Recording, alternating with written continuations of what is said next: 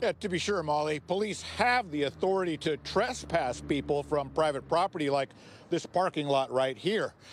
But the problem is that by the time officers show up, well, troublemakers aren't always still there.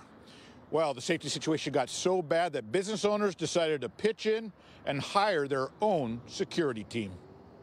A heavily armed security team made its way down South Hosmer Street, checking for loiterers at all the businesses and private lots along the way. The work is being done by Blue Falcon Tactical Solutions, and its owners spent weeks preparing. We're going to take that traffic and push them down to 96 where we have all the resources waiting from treatment to housing.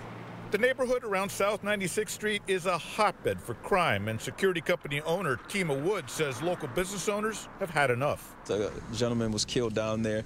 We've had um, five shootings take place in the last two and a half weeks just in that same area, right there in front of the daycare center.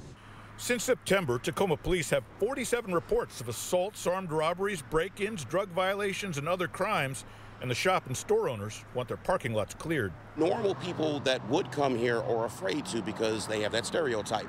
They have every right to, you know, clear their parking lot for the safety of their customers. And these security officers have cleared these areas before, but now they plan 30 days of stepped-up patrols to try and make it stick. Some doubt it will work. They're going to push them off here. They'll be right back. It's been that way for a year and a half. They they move them off, then they're down the side road. Woods has also teamed up with housing providers, detox facilities, and outreach workers to try to connect people to help who want it. He says the neighborhood deserves better, and he hopes to make a difference. We can secure this entire area for the 30 days, alleviate the police of coming down here to dealing with lower level crimes, and then we can show this model work. Hopefully, it can lead to a long term goal.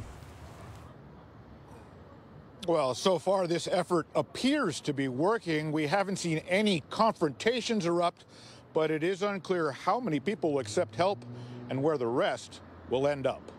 Reporting live, Joel Marino, KOMO News.